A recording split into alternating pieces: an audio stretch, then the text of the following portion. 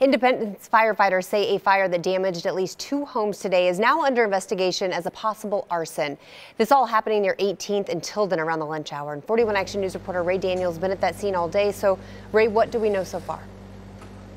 Well, Rhiannon, what we know is that fire crews were very active in the scene. It's a lot different than where it was now. But as you can see, there's caution tape up at one of those homes.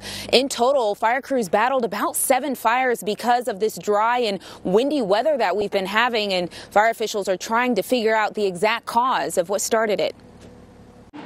Julia Hensley was in shock after hearing her home caught fire. My son called me. I was out doing some errands. It's my day off, and I probably broke every single speed limit on 40 highway I could. Fire officials believe it started at an abandoned home, then spread to Hensley's and other nearby structures. It was bad.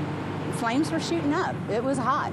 It was a hot fire. It was definitely a, it was going. Nearby neighbors were keeping an eye on their homes as well as fire spread.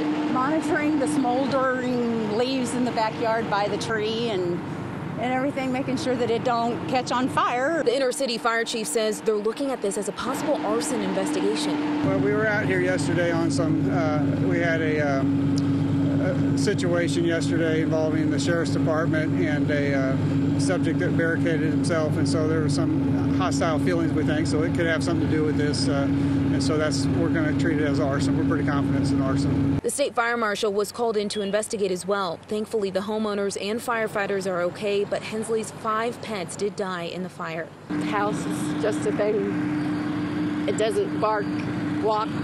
My dogs do. And I think God right now is just holding me up and telling me it's going to be okay. Now, once the fire, fire marshal finishes his investigation, he and the Inter City fire department will present their findings to the Jackson County Sheriff's Department. In Jackson County, Ray Daniel for 41 Action News.